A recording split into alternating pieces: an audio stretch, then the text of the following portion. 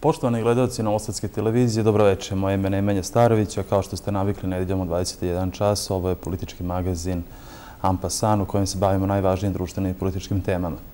Prethodnih nekoliko sedmica bavili smo se naravno najvažnijim političkim pitanjem s kojim se naša država, ali i društvo u Crni susreće. To je naravno problem Kosova i Metohije. Nastavit ćemo to i večeras, ali evo htio bih da kažem kako smo u prethodnim emisijama imali priliku da čujemo stavove najviših zvaničnika Kancelarije za Kosovo i Metohiju. Razgovarali smo potom sa uglednim političkim analitičarima koji su nam predočili jedan međunarodni aspekt ovog problema koji postoji. A večera ćemo čuti jedan veoma interesantan, specifičan i siguran sam za nas kao javnost veoma koristan ugao posmatranja, a to je ugao posmatranja ovog problema koji imaju pripadnici albanske zajednice koji žive kod nas u Srbiji. Sa mnom u studiju velika mi je čast da pozdravim gospodina Dema Berišu, predsjednika Matice Albanaca Srbije. Gospodine Beriša, dobroveče, dobrodošli u studiju Novosvjetske televizije. Dobroveče vama i dobroveče našim sugrađanima i gledalcima koji prate ovu emisiju. Evo kao što rekoh malo pre u najavi, razgovarat ćemo o tom najvažnijem problemu, ali bih vas zamolio za početak, iako je vaš rad, verujem, dobro poznat velikom delu naših sugrađana, da ipak kažete na početku nekoliko reči o organizaciji koju predvodite, e, sa kojom idejom je osnovana Matica Albanaca Srbije, koje su to neke najvažnije aktivnosti koje sprovodite ovdje kod nas u Novom Sadu, ali i mnogo šire od Novog Sada? Matica Albanaca Srbije je igrom slučaja osnovana ili namerno u Novom Sadu. Iz e, Prvo, Novi Sad je izabran jer je nas, većina koji živimo u Novom Sadu, izabralo zato što je Novi Sad jedna sredina koja prihvata sve zajednice koji žive na prostoru Srbije. Drugo, e, Matica Albanaca Srbije je e, imala za cilj da u ovim turbulentnim, ja bih rekao, ovaj, odnosima na relaciji Srbija-Kosovo ili Priština-Beograd, kako to već volimo da kažemo, sa jedinstvenim ciljem da očuva e, bit e, matice albanaca koji žive na mhm. prostoru Srbije. U tom smatram da je potrebno da, e, ja imam običaj da kažemo u ovom trenutku, da izvojimo žito i kukolj. Kada kažem žito i kukolj, tada pomislim da ljudi u Eh, državi Srbiji treba da znaju da svi Albanci ne misle kao što je eh, prezentovano. Naprotiv ima Albanaca koji Srbiju priznaju kao sobstvenu državu. Eh, Matica ima za cilj očuvanje identiteta, drugo kulture, jezika, pisma, običaja, a pri tome da sve to uključimo ili približimo drugim E, zajednicama, konkretno većinskom srpskom narodu i ostalim zajednicama koje žive na prostoru Vojvodine prvenstveno, iako je Matica registrovana na području cijele Republike Srbije. Pa koji su to trenutno najveći problemi sa kojim se albanska zajednica u Srbiji, ali možda konkretnije ovdje u Novom Sadu i Vojvodini susreće i koje su vaše aktivnosti na tom planu? Na koji mm. način e, pokušavate da izađete u susret tim izazovima koje postoje? E, izazovi su veliki koji su postavljeni pred e, našom zajednicom, ali tu moramo praviti dva dva pravca. Jedan je pravac ono problemi koji država s kojima se suočava sa albanskom zajednicom na Kosovu i u Preševskoj dolini, a drugi, to a, drugi, a drugi je onaj deo koji se odnosi na, ajde ja bih uslovno se izjasnio sa problemima koji se suočavaju Albanci koji konkretno žive na prostoru Vojvodine. Kada govorim o Albancima koji žive na prostoru Vojvodine, onda mislim na ljude koji imaju tri privredna subjekta, koji zapošljavaju preko 4000 e, nealbanskog stanovništva koji su prosto se ujedinili i uklopili u sistem, državni sistem Republike Srbije. Tu postoji jedan e, u drugom koraku jedan problem koji se odnosi na rešavanje problema koji se tiču e, konkretno boravka i kretanja.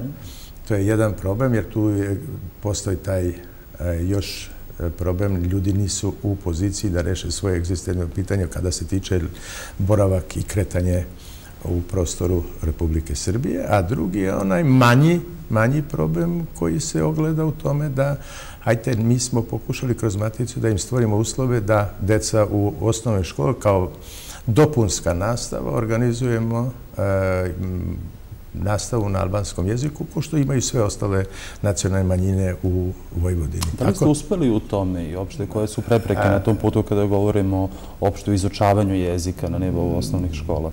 Mi smo sada trenutno u jednom e, dogovoru sa pokrijskim sekretarijatom za obrazovanje propise i nacionalne zajednice i mislim da ćemo to rešiti. Na dobrom smo putu da to rešimo, jer je problem nastao e, prikupljanje džaka koji bi u određenim e, školama mogli da tu dopunsku nastavu pohađaju. I mislim da će to ići i rešit će se to u pozitivnom smeru. Da li imate problema s obezbeđivanjem stručnog nastavnog kadra? Pretpostavljam da to ne bi trebalo. Mislim da nije poznata toliko činjenica da se recimo katedra za albanologiju nalazi u Beogradu i da je starija od one koja postoje u Tirani. Dakle, slažem se, slažem se s vama da jezika u Srbiji. Tu ne postoji taj problem, s obzirom da je katedra za albanologiju pri fakultetu u Beogradu postoje 906. Ona je starija od Tiranske i Prišinske. Zapravo svi kadrovi koji danas vode Akademiju nauka i sve u Prištini i u Tirani e, su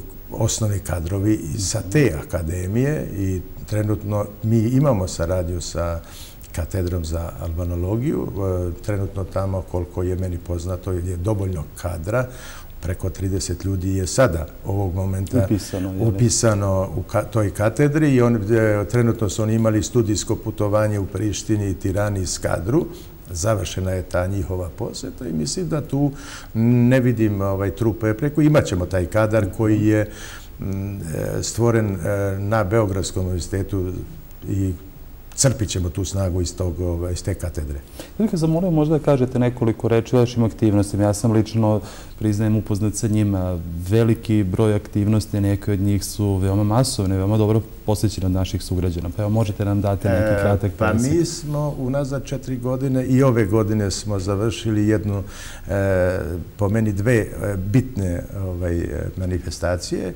Imali smo jednu koja je Bajramska sofra, koja je organizovana u centru Novog Sada na uglu Zmajovine ovde, znači nekoliko metara, e, gde je veliko prisustvo naših sugrađana bilo i mislimo da smo time doprineli da smo naši kulturu predstavili našim sugrađanima i tu to je jedna ovat pozitivni koja je pozitivna i za mnogi Vjerujem da svake godine više hiljada naših sugrađana Mislim da je, hajde da ne, da ne idemo od cifre, ali mislim preko 4-5 hiljada sugrađana prisustuje toj manifestaciji. Ona je postala tradicionalna i ona se održava, ove godine bila deseta jubilarna. Druga manifestacija sa kojom mi obzirom da nam je jedan od zadataka koje Matica u svom programu ima, približavanje, odnosno pomirenje srpskog i albanskog naroda. U tom pravcu smo mi jedna od organizacija, verujem da naši sugrađani ne znaju, ove godine u posjetu Novog Sada, kao što je poznato, boravila je ekipa učenika iz osnovne škola opštine Ranilug.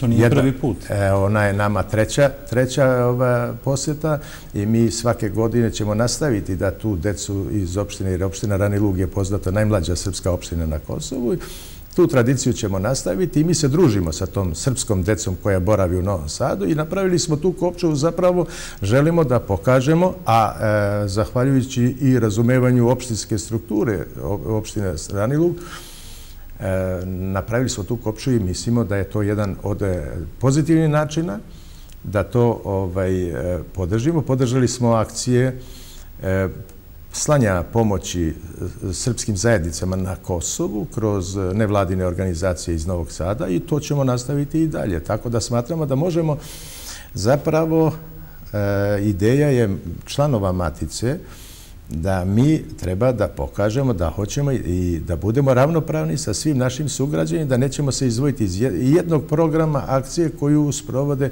društvo u Novom Sadu i u okolnim mestima. Imate li za svoje aktivnosti podršku u strukturama gradske vlasti u Novom Sadu i pokrenjske vlade? E, s obzirom da je sedište Matice Albanaca u Novom Sadu, mi imamo izuzetno dobru saradnju Eh, kada se tiče naš gradonačelnik Miloš Vučević, kada se tiče pokrajinske vlade na čelu sa predsjednikom vlade Mirovićem. Imamo tu potpuno razumevanje za one naše aktivnosti koje se odigravaju i daju nam podršku u tom pravcu i mislim da je to pohvalno i s jedne i s druge strane. I mi eh, ćemo učestvovati, ponavljam drugi put, u svim akcijama koji doprinose tome da građani zapravo u Albancima ne vide neprijatelja i strance, nego da vide svoj komšiju i da u tom delu ćemo ići u tom pravcu. Možete li možda evo na kraju ovog segmenta, prvog segmenta emisije da nam kažete nešto o planovima za neku i neposrednu budućnost i za naredni period? Šta biste istakli kao neke od najvažnijih elemenata planova koje želite da sprovedete u mesecima koji su pred nama? E, mi imamo u planu sada, pokrenuli smo unutar našeg članstva jednu akciju. E, ja imam običaj da kažem, da mnogo je zajedničke krvi između Srba i Albanaca. Kada to kaže, ne mislimo potpuno u negativno, nego suprotno, mislimo potpuno u pozitivno. Znači, mnogo e, porodica, prijatelja, članova familije i tako dalje, koji su zajednički ovaj, godinama, obzirom da smo živjeli i živimo u zajedničkoj državi, mislim da tu u tom pravcu hoćemo da idemo, da što više naših članova uključimo u sve društvene tokove aktivnostima koje se tiče od mesnih zajednica, konkretno u svom, e, svim strukturama državnim, jer time mislimo da ćemo doprineti stabilizaciji ti odnosa. E, radit ćemo u ovom trenutku mnogo. Postoji jedan e, zanimljiv e, slučaj kada e, moji sunarodici koji žive na prostoru Kosova i Metohije imaju zdravstvene probleme, Prvi start je Turska u pravcu lečenja, Makedonija, Albanija i na kraju se dosete da postoje instituti kao što je Institut u Sremskoj kamenici, Institut za majku i dete u Tiršovoj i tako dalje. I mislimo da u tom pravcu možemo doprineti mnogo, da približimo tu saradnju između stanovništva. Jer evo, ja ću navesti, e, imamo slučaj sada dvogodišnjeg deteta gde je Matica organizovala prijemi i lečenje dečaka od dve godine na Institutu za majke i dete i kada se e, Albanac odlučio da dovede svoje dvogodišnje dete na lečenje u Srbiji, mislim da je to ipak jedno poverenje koje se počelo stvarati i vraćati u državu Srbiju jer institucije zdravstvene i druge koje danas funkcionišu na Kosovo nisu u poziciji niti kvalifikovane da te stvari rešaju. Matica znači ide ka tome da e, omogući i Srbima i Albancima što više približavanje jedni prema drugima, jer mislim samo tako kroz e, direktnu saradnju možemo suzbiti taj, e, tu euforiju nacionalno koja u ovom trenutku postoji između Srba i Albanaca na prostoru Kosova i Metohija, a samim time se to preliva i u unutrašnjosti države Srbije. Da, Mnogo se govori u posljednje vreme o mogućnosti nekakvog pomirenja i suživota između Srbe i Albanaca kao dva nesumnjivo najbrojnija naroda na ovom delu e, Balkana. E sad, vaše aktivnosti nesumnjivo da doprinose tom e, procesu na najpozitivniji mogući način. Rekli ste da za sve ono što radite imate podršku i gradskih vlasti u Novom Sadu i pokrinjskih vlasti.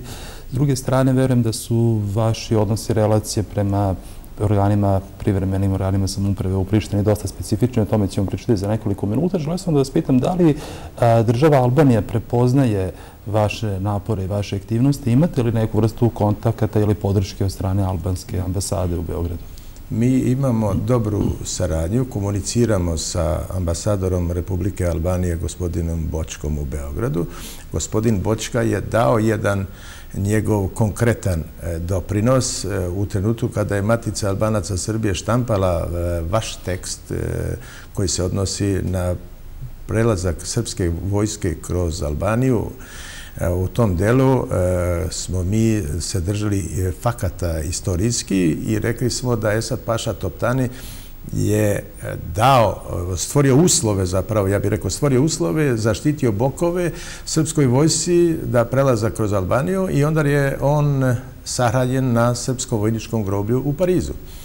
U tom trenutku, obzirom da je turbulencija takva, ti odnosi politički i, ja bih rekao, i nacionalni, onda su... I istorija se tumači kroz različite prizme, često. U jednoj, na jednoj strani je ona istorija koju mi poznajemo i koja je po meni istinita. Drugo, Esad Paša Toptani u srpskoj e, istoriji je kao pozitivan junak, u albanskoj oni ga tretiraju kao izdajnike. U tom trenutku ambasador Bočka je izišao upravo sa jednom tvrdnjom i potvrdio tu istorijsku činjenicu da je ipak pozitivan postupak Esad Paše Toptanija bio i dao je svoj lični doprinos i on podržava sve one aktivnosti koje vode ka tome, ka pomerenju dva ovaj, naroda. E, imali smo nekoliko intervjua s njima gdje se on izjasnio veoma e, jasno, e, pošto verujem da naši sugrađani ne znaju, e, uz podršku radiotelevizije Vojvodine.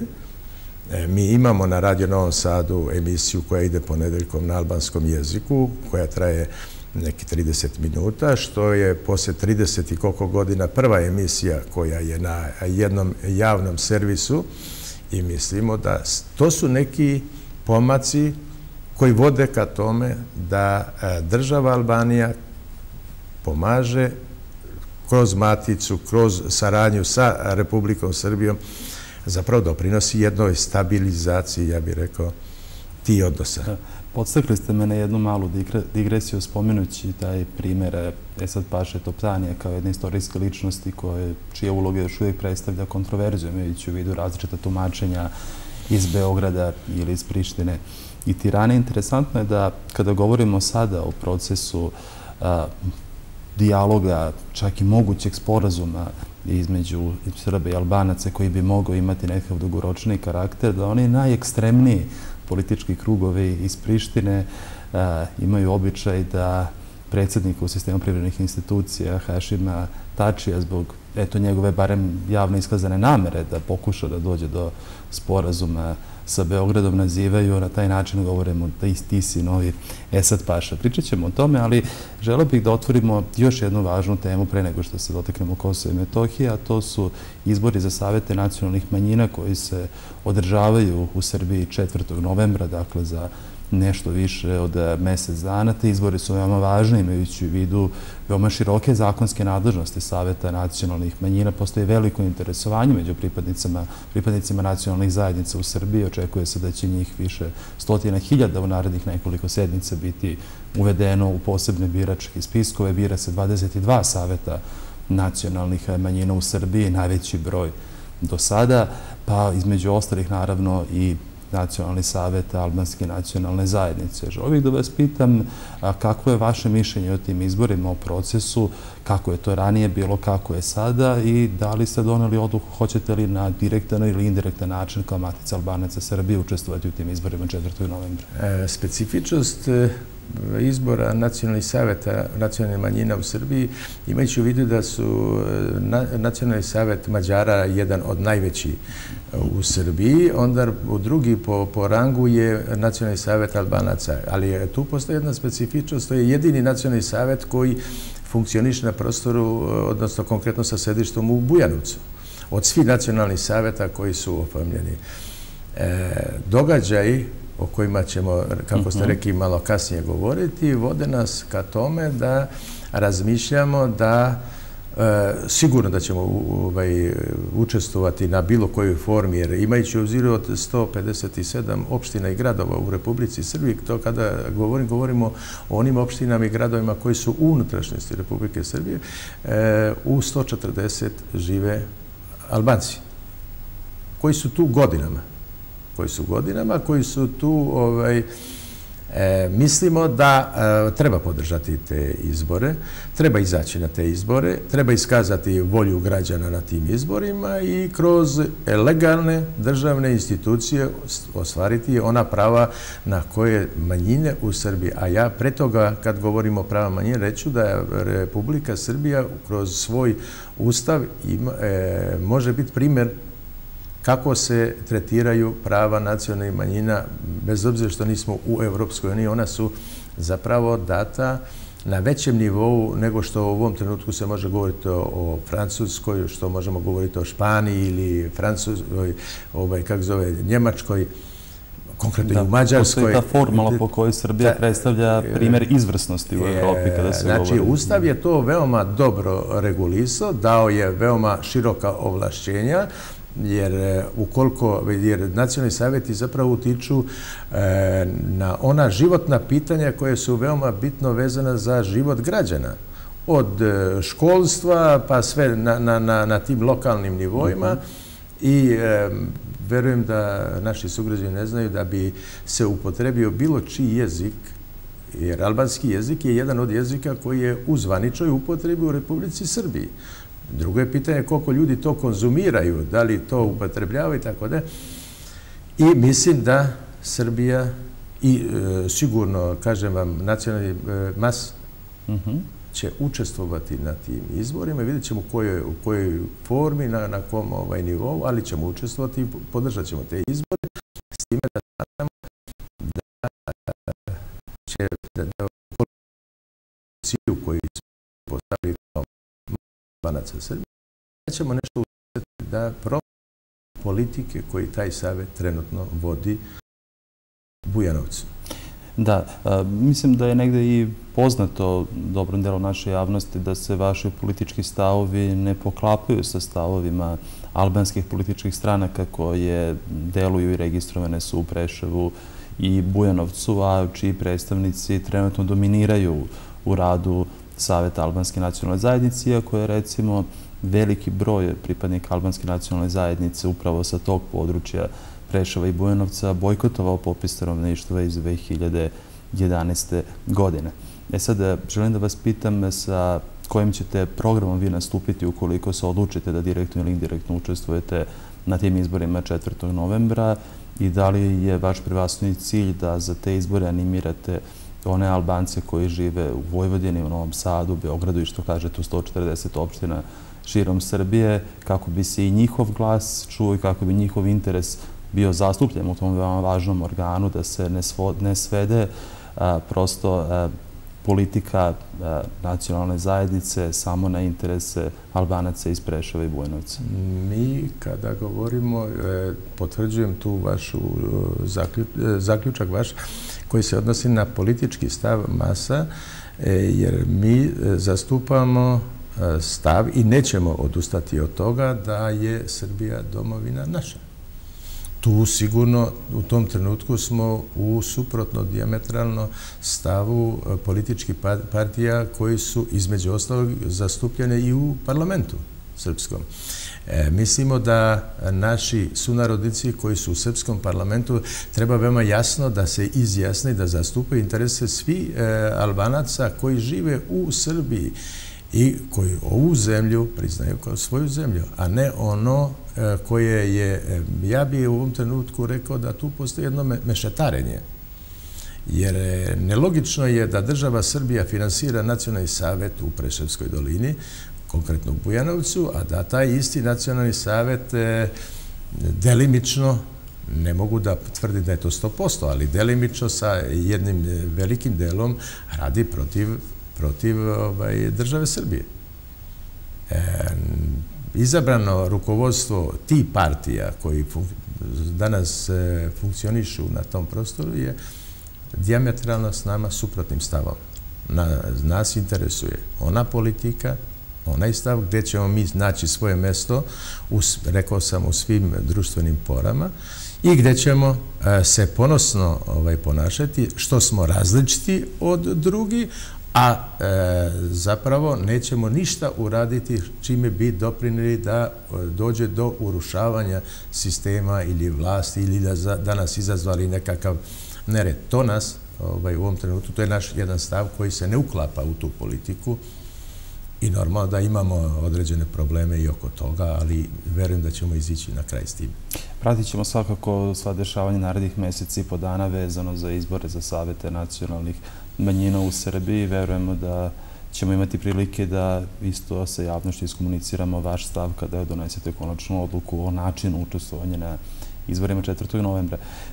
Prešao bih sada na onu temu koju smo najavili na samom početku i negdje bih želao prvo da vas pitam e, o vašem e, opštem stavu vezano za e, proces pregovora u Briselu koji se vodi dakle, između Beograda i Prištine pet godina je prošlo i nešto više, evo pet i po godina od potpisivanja prvog briselskog sporazuma, proces traje i duže od toga. Kako se sve to odražava na svakodnevni život Albanaca koji žive na prostoru centralne Srbije i koje vi okupljate u svojoj organizaciji.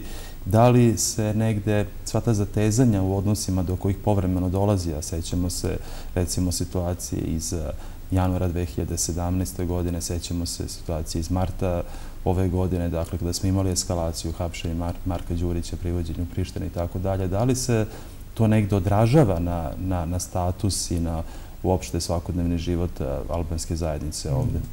E, kada me pitate o tome, e, sigurno da je postajalo nekoliko problema koji su se odnosili na raniji period. Zahvaljujući današnjoj situaciji i angažovanju gradske e, vlasti, konkretno od gradonačelnika Novog Sada, predsjednika vlade, e, kada je u pitanju, jer e, Matica Albanaca deluje na prostoru, najaktivnije je na prostoru Vojvodine. Ovde vam je prosto sedište. Imali smo mi ranije nekoliko preve, zahvaljujući znači tom pozitivnom nastupu i mudroj politici koja je vođena od strane gradske vlasti i pokajske vlasti ove godine kada su ta dva e, ključna problema bili ubistvo Olivera Ivanovića, mhm. jer svaki e, problem koji se dogodi na prostoru Kosova između Srba i Albanaca, on se e, kao domino efekat prelivalo ranije na ovim prostorima. Dovoljno je bilo da bilo šta se dogodi na Kosovu, Mi smo izišli sa jasnim stavom kada je pitanje ubistvo Olivera Ivanovića i osudili smo postupak e, kosovske policijske službe kada je Marko Đurić bio ovaj, maltretiran. E, kada govorimo o tom incidentnu, ja javno kažem da je to znači prvo u biti e, Albanaca nije da, jer Marko Đurić nije bio fizičko lice, nije bio predstavnik vlade, E, čovjek koji je imao E, određena ovlašćenja i koji ima određena odobrenja. E, dočekati ga na takav način i mrcvariti, ja bih rekao na takav način, je to e, zapravo to je trebalo da služi za iskazivanje nekakvog huliganstva koji su oni pokušali da iskazivanje. Kažem, mi to smo osudili. Danas, kažemo, hvala Bogu, nismo taj taj ekstremno veliki problem u tom trenutku uspeli smo uz e, razgovor i uz učešće aktivno učešće pokrajinske i gradske vlasti da sačuvamo e, naše stanovništvo, jer je taj domino efekt, kaže, mogu da se prelije na... E, I ranije u prošlosti se često, nažalost, tako. Nažalost je imalo i paljenje pekara, lomljene stakla i tako dalje, što su zapravo e, ljudi nisu videli naše sugrađane. Mi govorimo, Albanci koji žive na prostoru Vojve su naši sugrađani naši sugrađani koji svakodnevno se susrećemo s njima i tu je nažalost bilo. Međutim, kažem, zahvaljujući sadašnjoj e, vladajućoj partiji koja je na vlasti, e, konkretno našeg gradonačnika Mišlo Miloša Vučevića i Igora Miljevića, tu smo uspeli da sačuvamo naše građanstvo. Da. Pa evo sad da pređemo možda malo na jedan više politički segment. Siguran sam da veoma pomno i pažljivo pratite sve ono što čini sadržajno u briselskog procesa, činjenicu da evo u posljednjih nekoliko sedmica kao da dolazi do nekakvog proboja u tom procesu, kao da se stvari ubrzavaju, a i stavovi onih ključnih aktera u međunarodnoj zajednici, kao da negde pogoduju nekakvoj šansi da do eh, sporazuma koje bi imao, ako ne istorijski, onda barem nešto trajniji karakter, ipak dođe. Iako čujemo naravno iz Beograda i iz Prištine da su šanse za tako nešto još uvijek male. Želim da vas pitam za vašu ocenu da li vi smatrate da postoji šanse da taj sporozum i da postoji dobra volja kako u Beogradu i u Prištini da do njega dođe? Mislim da u ovom trenutku ono što se odigravalo unazad nekoliko godina E, sve je to nešto na papiru stavljeno u tom pravcu i u tom kontekstu da dođe do jednog e, mirnog rešenja. Međutim, e, nastankom problema koji se odnosi u funkcionisanju partija koji su trenutno na vlasti na Kosovu i nervozom u gubitku, ja bih rekao nervoza koja je nastala u gubitku tla, jer pritiskom Evropske unije, Amerike i Rusije da dođe do nekog rešenja pozitivnog u tom kontekstu, oni gube tla jer su svoje birače doveli u poziciju da moraju da e, prihvate odluku totalno drugačiju od one koja je godinama e, prezentovana i stvarana na Kosovu. Sigurno da Matica e, sve čini da i podržava taj pravac, e, da dođe do tog e, mirnog sporazuma, e, rešenja i da li će ono biti istorijsko, ja bih rekao da za sigurno ima svoj pozitivan efekat i tu ideju ćemo zastupati i zastupali smo, to je između ostalog u našem i programu, da taj, to pomerenje istorijsko dođe i da se ta, taj nesporazum reši. Na kojoj, u kojoj formi, pod čijom inegrecijom i kako će da se dođe do toga, to je stvar e, koliko god je pozitivno političko e, delovanje Republike Srbije na prostoru e, Kosova, tog trenutka vidimo nervozu jer gube tla i partija Kadrija Veselija i partija Ramuša Hajradinaja i Pacolija i svi ti drugi i opozicija i pozicija na Kosovu je u ovom trenutku u velikom problemu jer oni ne mogu prosto da sebe nađu jer su izgubili taj svoj e, dojučerašnji program. Da, govorite o tom e, gubitku tla koji se osjeća na političkoj sceni koja postoji u Prištini. E, pretpostavljam da mislite na činjenicu da prosto deset godina od e, jednostrane proglašenja nezavisnosti iz 2008. godine danas prištanske vlasti ne samo da nisu ni korak bliže, već mi se čini da su čak i korak dalje od te željene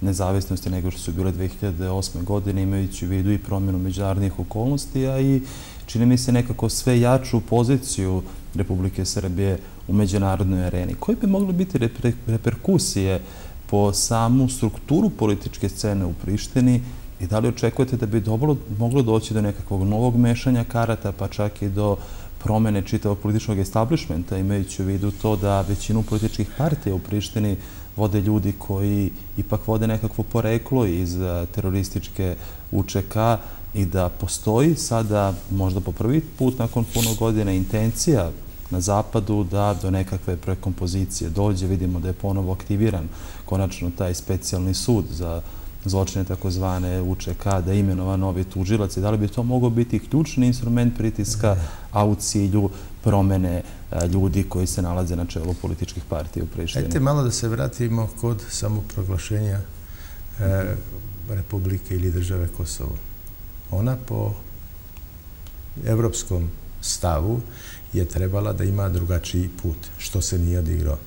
Oni su verovali da će za dve, tri godine da e, Rusija i Kina popuste, da će ovih pet članica Evropske unije da popuste i da će stvar biti brzo rešena. Prvo po sporazumu koje je Republika, Savezna Republika Jugoslavija potpisala, oni su trebali prvo da idu na referendum. Nikad nije održan. Referendum nije održan. Znači nešto im se žurilo. Zašto nije održan po vašem mišljenju? To je veoma važno pitanje. E, nije održan referendum iz jednog prostog razloga što sam siguran da ne bi dobili tu u tom trenutku, u tom trenutku bez obzira e, svo stanovništvo Kosova nije raspoloženo negativno prema Republici Srbije i oni su se stoga plašili da ne bi ovaj, dobili taj referendum pa su onda brže bolje se odlučili kroz skupštinsku proceduru, ali bili su obaveze da ga sprovedu. Da je bilo referenduma, moralo bi biti dato pravo svim programima i raseljenim. Tako je. Oni su, imali, oni su imali tu procenu, oni imali su tu procenu da taj referendum e, čak ne bi prošao. Iz toga su se odlučili da idu na tu drugi, taj drugi Deklara, skupštinsku deklaraciju. Skupštinsku deklaraciju. Znači, e, imamo nešto što nisu ispoštovali kako je to ranije sa međunarodnom zajednicom dogovora. Drugo, dokle god je ta struktura koja je danas na vlasti na Kosovu, od e, opština pa do e, ključni ljudi, e, ključni aktera danas. Govorite o strukturi koja vodi poreklu iz UČK, iz ŠIK-a? ŠIK, UČK, ljudi koji, zapravo, zanimljivo je jednostavno. Još postoje dosta para od dva fonda koji su bili e, stvoreni u inostranstvu, to je ono čuveni fond od 3%. Imate drugi fond koji je bio Domovina zove. E, prodajem e, banke Govorite o fondovima koji su punjeni nekom vrstom reketa, ako dobro razumijem. Pa ne nekom vrstom reketa, nego klasičnom reketom. Klasičnim reketom iz inostranstva. Dakle, svi koji nešto radi, privređuju u inostranstvu, morali su inostranstvu da 3% izdvoje, to su dva ta fonda. I time je UČK finansirana. Finansirana je cijela ta organizacija, to je sve se slivalo u banci Dardanija koja se zvala, to je takozvane vlade Kosove banka u Tirani. Ta banka je pre 4-5 ovaj, godina prodata. E, Bujar Bukoš je bio jedan i Isa Mustafa, ljudi na ovim prostorima sigurno ne znaju da je Isa Mustafa bio e, ministar financija u toj vladi. Bujar Bukoš je bio predsjednik te vlade. Ta banka je prodata fiktivno italijanima za neku cenu 5 miliona i 500 hiljada eura po nekoj minornoj ceni. Zapravo je tu ostalo mnogo para. Te pare danas još postoje u tim fondovima. Došlo je do sukupa između ti koji su podeli, odnosno sada konkretno Tačija, Kadrija Veselija, Redina i to e, Limaja i tog, e, tog rukovodstva e, učeka. I tu ne postoji e, u ovom trenutku, bez obzira koliko se pokušava sa pozicije predsjednika vlade Albanije da to smiri te tenzije, ne postoji jer imamo situaciju gde predsjednik takozvane vlade Kosova Ramoš Hajredina ne želi da učestvuje na briselskim pregovorima, nego on delegira svog zamenika e, premijera i ministra za Limaja, koji u ovom trenutku nema podršku, jer naši građani ne znaju. Vlada Ramoša Haredina je oformljena sa od 120 poslanika Skupštine Kosova sa 61 poslanikom. U 61 poslanik je srpska lista koja je u ovom trenutku... Broj 9 trenutno. Trenutno broj 9 i ona je pala i ona je manjinska vlada. Ona je manjinska Samo što niko ne pokreće procedoru opoziva što predstavlja jedan kuriozitet u bilo kojem pa demokratskom sistemu. Jedino prvo, ona je najveća vlada sa najviše ministara. Ima 23 ministara sa pet potpredsjednika, sa 72 zamenika i savjetnika. To je jedna od najvećih vlada na ovim prostorima. Država sa milion... I policijna struktura je izuzetno komplikovana. Komplikovana. Veliki broj malih partija. Sporazumi su kruti i čvrsti da predsjednik vlade ne može da promeni nijednog ministra u odnosu na ono, nego partija koja ga je delegirala s kojim imaju sporazum. Čak i zamenike pomoćnika. Nijednog ne može da udi. I sada imamo jednu opasnost koja će se odigrati obzirom da je srpska lista. Bez srpske liste ne može da se oformi i proglasi vojska Kosova. A ona je sada ušla sa nekim zakonom. To je čak i ustavno ograničenje. Ograničenje. Ograničenje. Dve trećine od svih manjinskih, odnosno nevećinskih poslanika. Oni, oni sada tu će da uđu sad u još jedan problem i vidjet ćemo kako će izići iz toga, jer oni su sada predložili Skupštini, da vlada je predložila Skupštini Kosova da E, proglasi oružane snage, međutim i to će biti nelegalno. E, ja kada govorim o toj vladi... Onda sledi procedura pred Ustavnim sudom, predpostavljam. To je, to je jedna duga procedura i znamo, i preskočio sam odgovor na vaše pitanje kada se tiče ovaj, izbora e, tužioca specijalnog suda. Da, Ta je opasnost... američki tužilac i pre nekoliko dana je imenovan. Jeste, i tu će doći sada, zapravo tu je najveći stras sadašnje strukture. E, ljudi ne znaju. E, postoje li već spremene optužnice, svedoci, dokazi? Postoje, o kome javno se govori na Kosovu. Spominje se da bi Daud Haradina i brat Ramoša Haradina je mogo biti među prvim optuženima. On je prvi.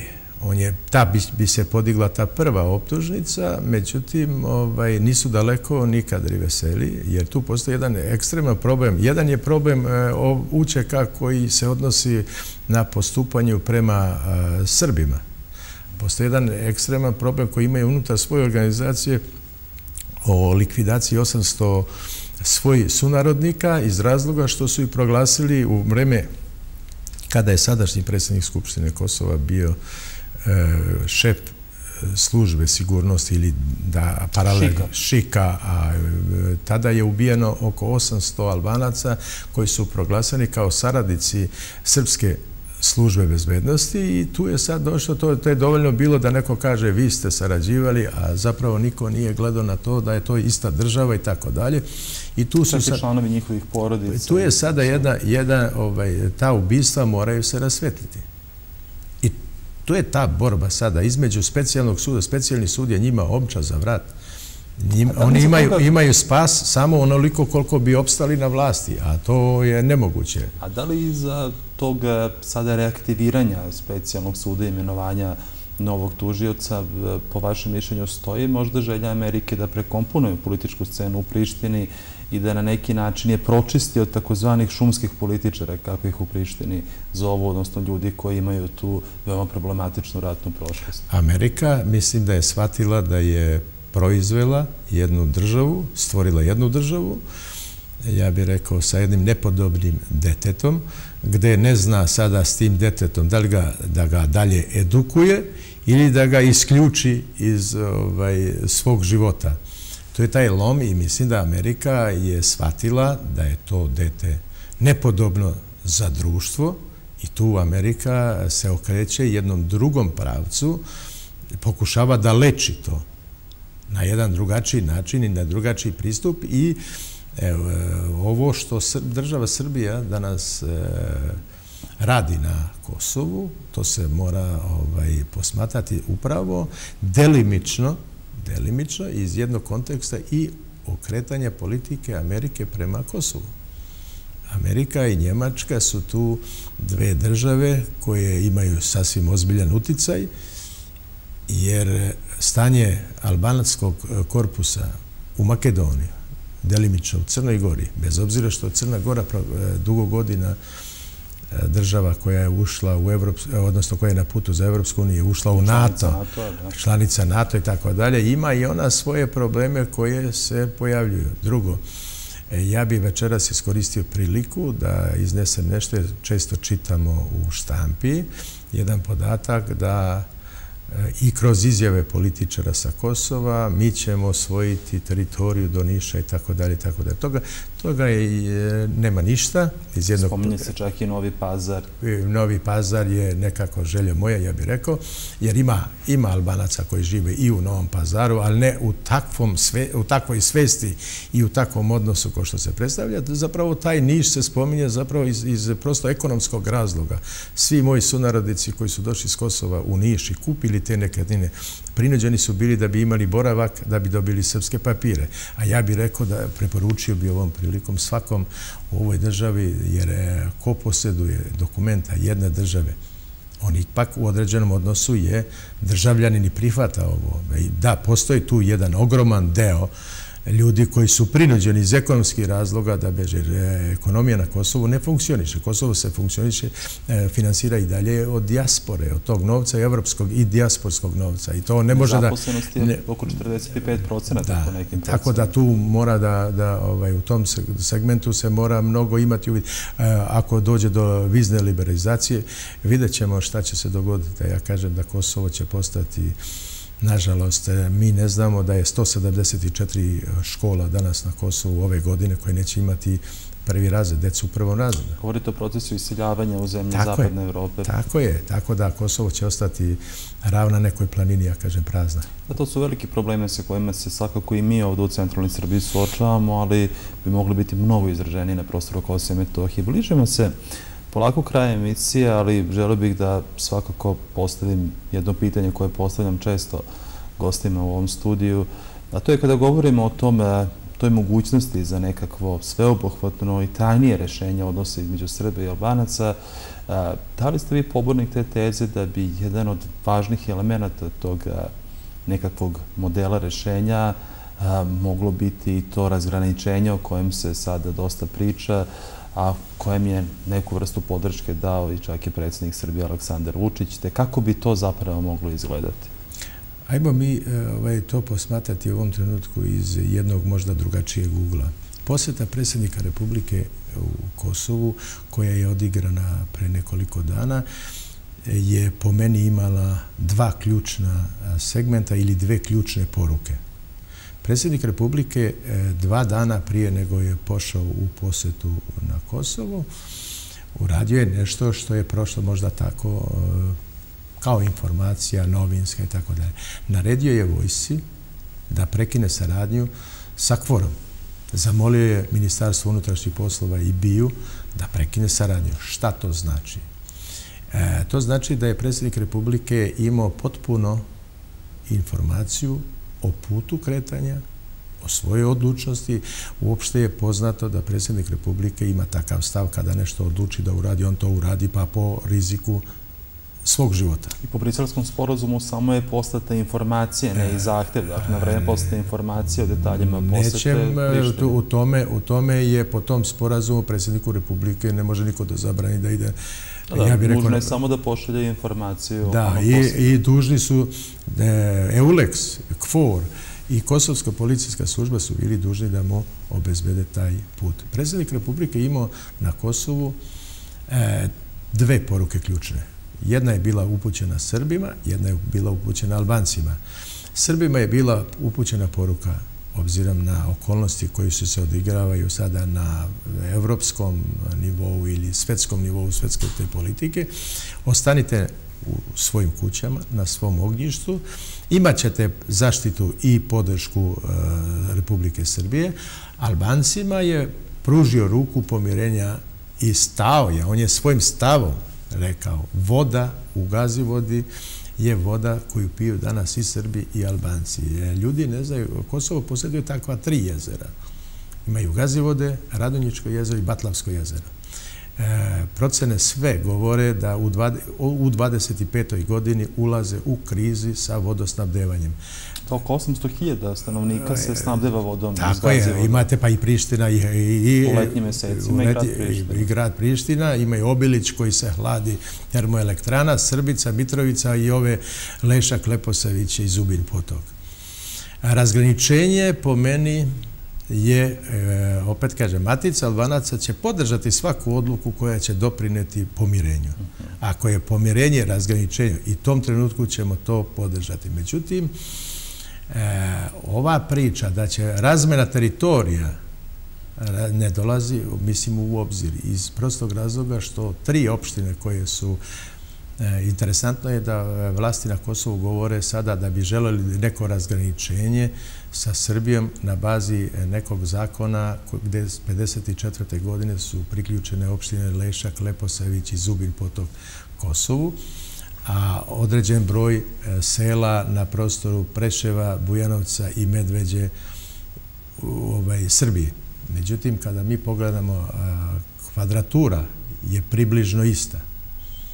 E, broj stanovništva je problematičan. Kako ćemo mi da ovaj, damo nekome sutra Bujanovac koji je 64 sa 36, odnosno 64% ovaj, Albanaca, 34% su Srbi.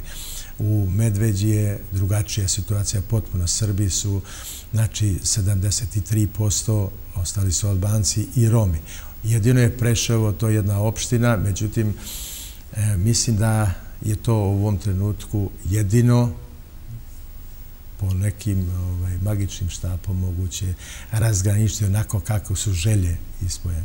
Imamo situaciju danas, večeras kada govorimo, gde predsjednik vlade Albanije podržava eh, podržava i tu ideju. I ja ću biti jedan od... To je Edi Rami. Edi Rama, znači on podržava, on je pozvao na razgovor predsjednika... On se ponaša kao neka vrsta medijatora između aktera na političkoj sceni Prištine koji su veoma zavađeni međusobno. Rama pokušava da se postavi kao nekakav arbitr. Rama pokušava da se ponaša na čelu, da, da bude komandant ovaj, albanskog tog korpusa i pokušava da spoji nespojiva. Šta je to e, nespojiva? Politički stavovi e, rukovodilaca na Kosovu su e, jako različiti. Teško pomirljivi. Tako da nisam siguran e, da u ovom trenutku e, najrealnije da dođe do nekog zahlađenja odnosa zapravo zbog problema u kosovskoj rukovodećoj strukturi. Ne u volji Srbije. Srbija je skazala svoj stav. Voljna je za razgovore, voljna je za dogovore, ali e, albanska strana mora da nađe tu snagu da prihvati činjenicu koja je tako kaže predsjednik države, jako bolna. Tako da Očekujete li možda i vanredne izbore u Prištini? E, oni su na vidiku. Oni su na vidiku i tada će doći do... Jer imamo i reakciju e, bivše predsjednice opštine Đakovica Ljilje Kusari, koja je pre dva dana javno istupila i rekla da ne dolazi u obzir promjena granica, što je unelo pometnju u korpus e, u Preševskoj dolini, koji je do tog trenutka sve išao ka tome, jer uopšte je poznata činjenica da kosovske vlasti danas Preševsku dolinu nazivaju istočnim Kosovom. I tu je došlo do jedne turbulencije zapravo i imamo reakciju predsjednika Albanije ili Ramete, koji je rekao da ne dolazi u obzir promjena granica, što je... Ali ta, ta debata u Prištini je, čini mi se, dosta živa, osim Hašima Tačija koji koristi neku vrstu eufemizma i govori o kako reče, o demarkaciji granične linije, slično onome procesu koji je postao između Prištine i Podgorici. Imamo i dosta glasova koji daju podršku takvoj ideji. Naravno, Ređep Ćosija, bivši ministar spoljnih poslova Petrice Ljimi, da ne nabrajam dalje. Ta hoću da kažem da je debata živa i da postoji argumentarijom koji se koristi sa jedne i sa druge strane. E, tu postoji, e, zapravo tu je ta borba unutra partija na Kosovu koja je različita od e, stava. Jer, Govorim i o intelektualnoj javnosti. E, intelektualna javnost je sigurno tako ja podržava rešenje i ona je aktivna. Međutim, imamo na video, kao što sam rekao, trenutno je stvar da pokušavaju da pokušavaju sada kako zvane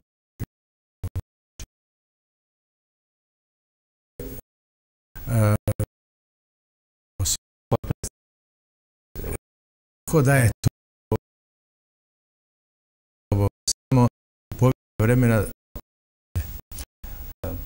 Riša, hvala vam na vremenu koji izdvojili za naše gledalce. Vreme kada ste njom razgovoru je veoma brzo prošlo. Nadam se da ćete uskoro ponovo biti naš gost i da ćemo nastaviti ovaj veoma interesantan razgovor. Hvala vama što ste me pozvali i pozdravljam naše sugrađane. Poštovani gledalci, bilo je još jedno izdanje političkog magazina Ampasan. Mi se vidimo naredne nedelje u isto vreme. Ne mijenjajte program na pravom ste mjestu.